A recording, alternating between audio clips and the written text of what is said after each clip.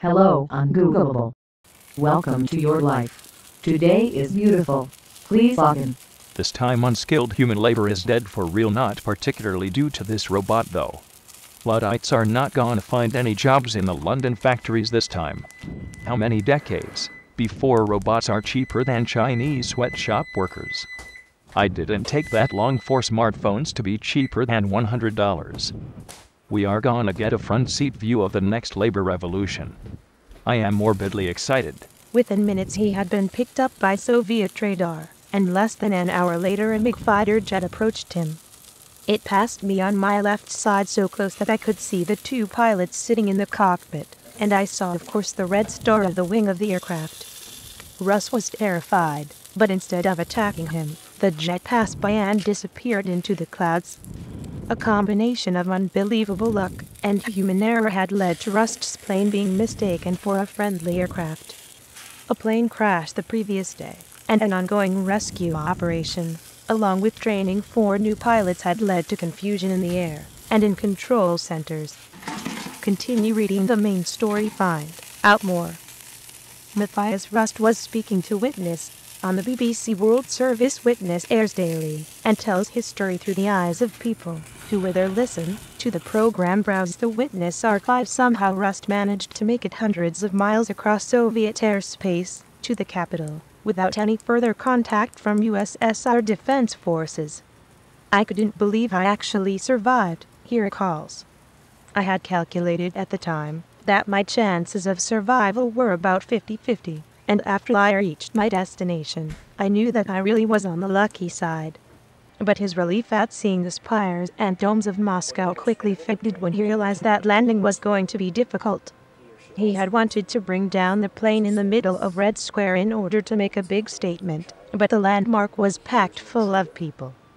Continue reading the main story of Cessna 172 Skyhawk Cessna 172 Skyhawk popular mass-produced light aircraft. Rust signed one out from Flying Club. For three weeks four-seater equipped with extra fuel tanks boosting range from 200 miles 324 km to 816 miles 1389 km supplies, maps, sleeping bag, 15 quarts engine oil, life vest, and motorcycle crash helmet on the ground. Soviet citizens were stopping and looking up in amazement as the small white plane circled just 30 feet 10 m above the ground.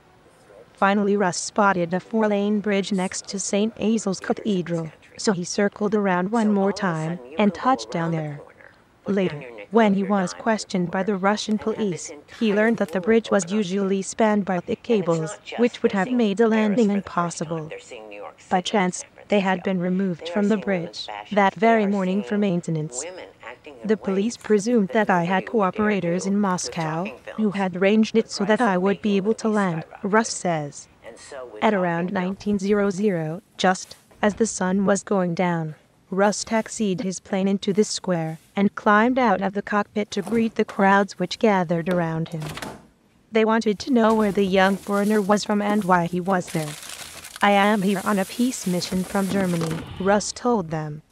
When they shook his hand, glad to meet an ally, he had to explain that he came from the other Germany West, not the Communist East, as they presumed. Dr. Robin Stott, a British doctor, who happened to be in Moscow as part of an anti-nuclear pressure group, was taking time out from a non-proliferation conference to see the sights when Rust landed his plane right in front of him. It was an extraordinary thing. None of us had a clue what was going on, he recalls. Matthias Rusty now works as yoga instructor and financial analyst. Everyone around him was very impressed. Even the security services kept saying what a brave boy they thought he was. Once the police had recovered from the shock of finding an unauthorized aircraft parked at the gates of the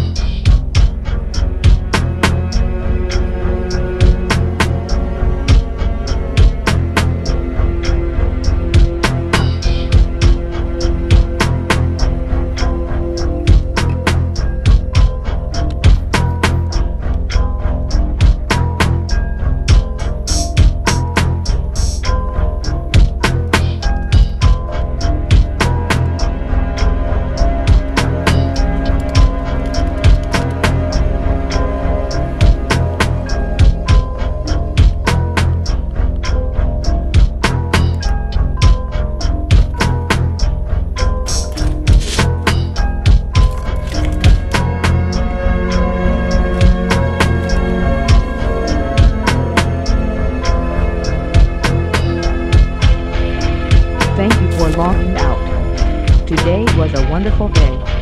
Please come back tomorrow. red, blue, green. Mic check 1 2. Congratulations. You reject the good enough.